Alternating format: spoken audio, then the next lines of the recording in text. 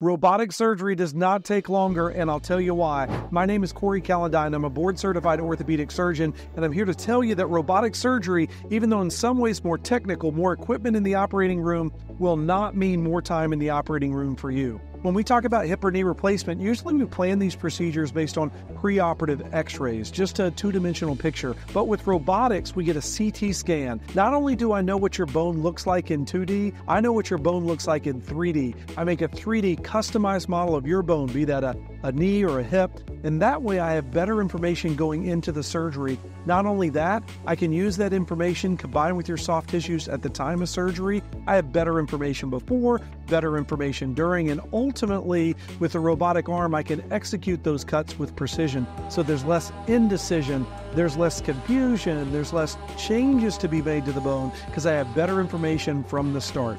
Robotic surgery, would you do it? Don't worry.